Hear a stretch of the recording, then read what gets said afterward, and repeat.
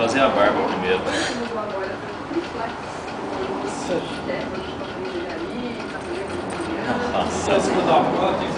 Esta é a produção dos anzóis encastuados. E aí, TT, é muito bom fazer isso daí? Tomar no olho do seu cu.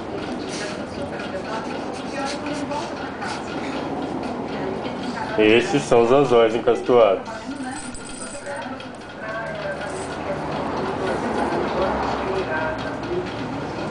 Ah, se foder, velho. Olha, eu preciso trabalhar aqui, velho, na moral. Tirando minha atenção. Mostra a mão. Que que... Olha, olha, furo pra todo lado.